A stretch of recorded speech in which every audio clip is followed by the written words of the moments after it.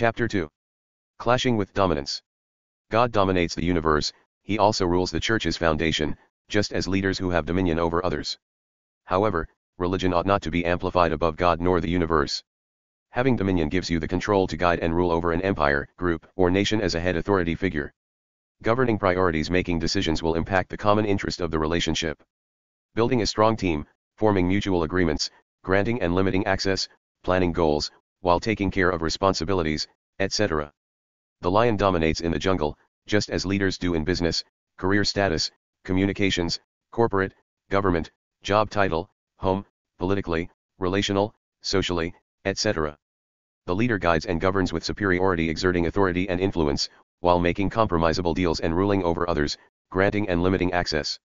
At any expense, the person feels more important than others in a higher status. When domination is acquired by aggression, it doesn't necessarily mean you have the proper contract or documentation to dominate as an authority. If this is the case, it may be done in violation of business laws, which can lead to clashes with involved parties. To clash shows a conflict opposition, especially of interest or views that can result in a battle, fight, or skirmish. In which, the clash can appear offensive to the eye. Most conflicts today surround authoritarian parents, class status, corporate ladder status, foreign and U.S. agreements, foreign and U.S. affairs, illegal business, hemisphere icons, marital gender, money laundering, politics, religion, sexual assaults, subracism, terrorist attacks, workplace disputes, etc. Practically every area of a person's life surrounds domination. Everyday people often take dominance to another level, when they pretend to have dominion over others ruling them as subordinate in their everyday life, the word dominate has lost its vibe.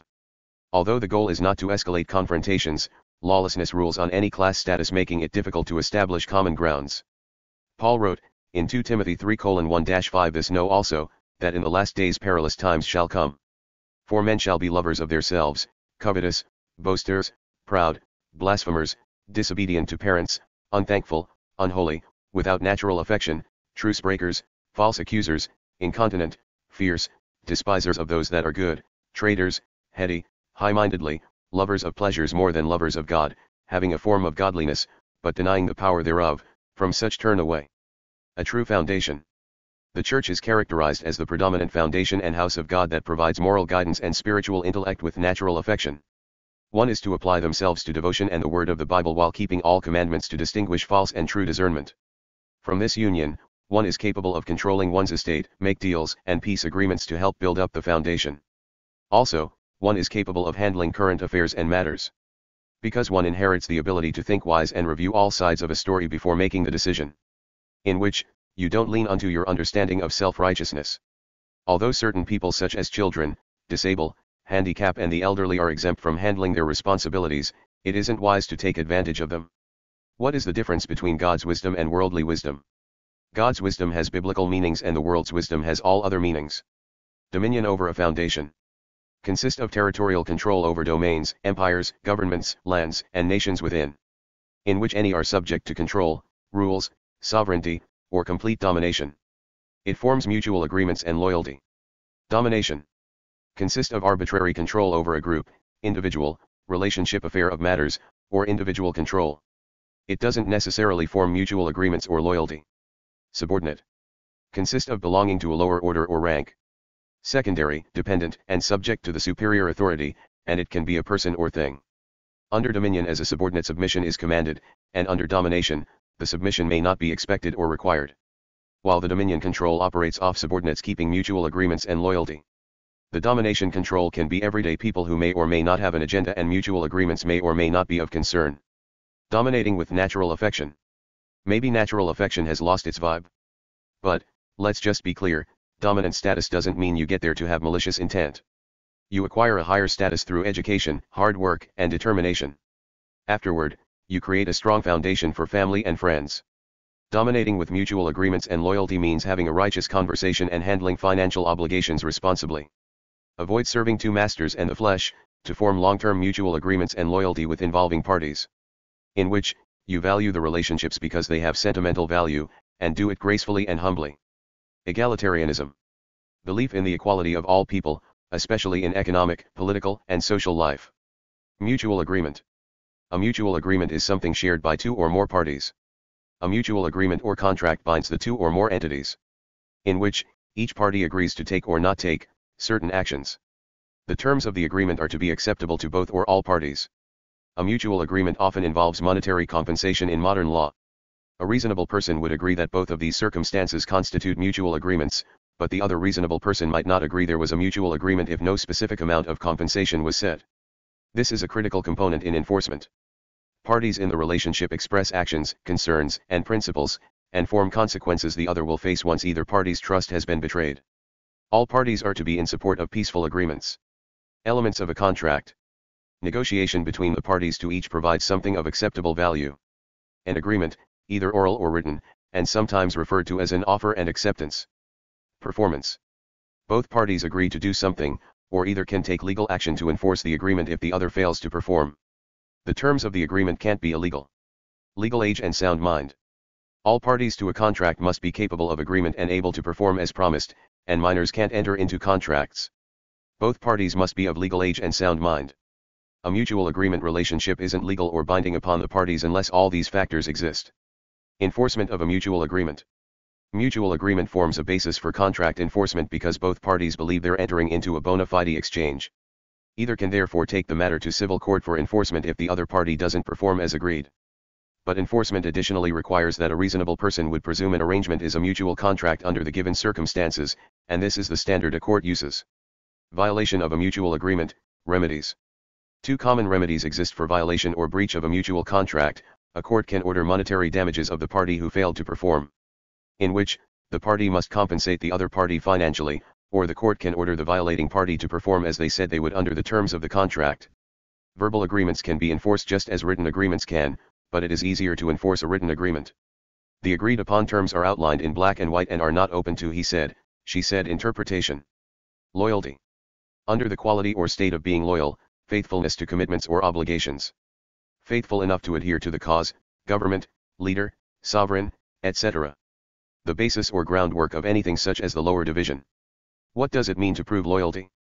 To demonstrate faithfulness to commitments or obligations made. Why do people take loyalty for granted? Most people be wanting to appear diverse and liberal to earn self-gratification rewards when trusting the ungodly. However, Jesus doesn't force you to earn self-gratification rewards for his trust. All he asks is to believe in him while being obedient to his commands. Loyalty supporting diversity. Nowadays many people support diversity but aren't loyal enough to be diverse. As the world becomes more aggressive towards ourselves and others, we lack sentimental thoughts. Almost every product created false or misleading expressions are factored into rendering huge profits. America represents a variety of cultures, others must see your loyalty to prove your diversity. When subordinates have been victimized by dominant people, the clash of domination hardly ever gets reconciled, and all too often the lawlessness rules over righteousness. Once you factor in the false and misleading concepts reconciliation gets replaced with revenge. Although people deal with confusion and doubt in various ways, not all will respond in the same manner. God and loved ones are to come first, but as you see most people are pretending to have a righteous significant approach in their daily affairs, those top priorities get overlooked once revenge consumes their life. But, criminal and spiritual warfare is why the world relies heavily on religions that handle warfare gracefully and responsibly. Unlike cults, who rather go against biblical and sanity concerns when taking matters into their own hands. We all have a reason to feel dominant maybe to appear less defenseless, fearful, or weak. And sure, those are reasons so many people feel justified supporting lawlessness. Dignity and hope with loyalty ought not to be repeatedly devoured by evil spirits' control. Proving loyalty is a part of believing in God, it shows you can be his faithful servant. Proving loyalty to loved ones means you will guide them through criminal and spiritual warfare of any kind. Bonds with family and friends are expected to be proven daily or weekly, but a friend can become an enemy in a matter of seconds. It sometimes takes years to forgive an enemy, unrequired communication often hinders long-term truce. Neither helps repair bonds between you and an enemy the animosity grows stronger, only forgiveness, love, joy, and mercy does. Leader Warfare It appears a lot of people are facing spiritual warfare. Although many leaders do righteous good works, too often the negative things they do outweigh the positives. The spiritual warfare leaders face and have faced for quite some time, means some are convoluted in areas others aren't. When leaders experience spiritual warfare, it affects them through various levels of emotions like anger, doubt, envy, fear, rage, strife, and often revenge just as it does others. Essential Warfare List of Leaders 1. Affairs of Matters Many leaders support going to war in various countries which makes other countries hate ours. This usually leads to loyalty, mutual, peace, and trade agreement issues, etc. 2. Donation of resources, many leaders donate or help in local communities where kids suffer most. Some leaders often try to be a parent to some of those kids, when they probably should focus on leading a firm foundation. 3. Fraud investments, many leaders invest money in Ponzi schemes, to later find out they have gotten ripped off. This may prevent them from paying bills on time. 4. Greed, many leaders form greed in various areas of their life. They may defraud the system while spending excessively, cheat on a spouse outside the marriage, or sexually assault someone while on the job. When family and friends are affected it can create chaos, and this too can create problems on the job. 5. High prices, many leaders support raising taxes while valuing higher salary raises. Salary raises affect inflation, and it creates a huge conflict of interest when determining the sole base for raising taxes. 6. Hindrance, many leaders help create laws that hinder the poor from getting ahead. Some poor people may break laws and ordinances that lead to more entanglements such as less freedom, loss of assistance, businesses, education, employment, etc. If the poor can't achieve finances righteously, they will commit crimes that can endanger humanity and increase debt. This means our country has become less forgiving when the country ought to work toward getting out of debt to be financially stable. 7. Kickbacks, many leaders accept kickbacks on a normal basis, often to reverse dirty deeds. This can distort their reputation. 8. Lack of support. Many leaders often are taken advantage of when their employees extort money from the business. This can make the company lose or need government support. Also, this can make the company owe a debt to the government that has to be paid back within a certain time frame or other penalties may apply. Lawlessness, serving too many masters. In business and relationships without dominion, evil spirits often dominate vainly serving the devil's flesh, and as you see they will go out the way to avoid forming a relationship with involving parties. Since the actions won't be justifiable by righteousness, the evil spirits need elaborate battlegrounds to complete their assignments, and this is when businesses are targeted and used. Usually, when a person dominates, they have a master who sets up battlegrounds that will be used to carry out maliciousness, they also have to give them a report of their criminal activities. Otherwise, evil spirits commit their crimes out in the open space. And sure, they often force subordinates into signing illegal documents, pretending to have dominion over a foundation where they force demands and have rules and regulations all of which is nothing more than acts of lawlessness, and if confronted there will be clashes of disagreements. Not only do the subordinates serve the dominant person, they too serve his master and all while serving God. Jesus said, No man can serve two masters. Matthew 6:24, this means you don't review one side of a story to fit plans of becoming successful. False discernment leads to financial losses and taking kickbacks pretending there was an agreement. Conclusion and summary. When a person owns a foundation they operate having dominion over it and dominate immensely. When everyday people dominate, if the person doesn't have a relationship with involving parties or form a binding contract, the domination is formed without loyalty or mutual agreements. Without a relationship and binding contract, the person who dominates cannot form or keep peaceful agreements.